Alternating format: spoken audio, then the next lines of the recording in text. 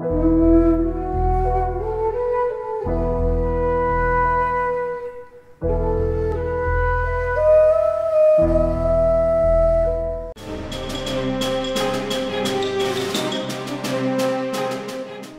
अगस्त के मौके पर देशभक्ति गीतों की धुन पर मेरठ के गांधी आश्रम से प्रभात फेरी निकाली गई। इस प्रभात फेरी में डीएम समीर वर्मा समेत कई अधिकारी भी मौजूद रहे इस दौरान डीएम ने शहीद स्मारक पर झंडा फहराकर सलामी दी। यही नहीं, शहीदों की प्रतिमाओं पर माल्यार्पण कर उन्हें नमन भी किया।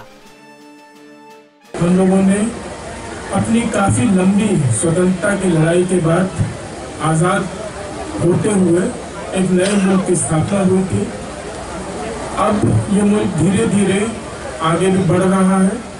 और जैसा कि कहा गया, अब आज की युवा पीढ़ी को इस मुल्क को और तरक्की की ओर ले जाने का की ज़िम्मेदारी है। और हम सबको अपने जो छोटे छोटे भेद होते हैं, जाति का, धर्म का, संप्रदाय का, क्षेत्र का, भाषा का, इन सबसे ऊपर उठते हुए एक भारतीयता की भावना विकसित करनी है, तभी ये देश सच्चे अर्थों में एक महान देश बन पाएगा। इस दौरान स्कूली बच्चों और एनसीसी कैडेट्स में जोश और जुनून देखने को मिला।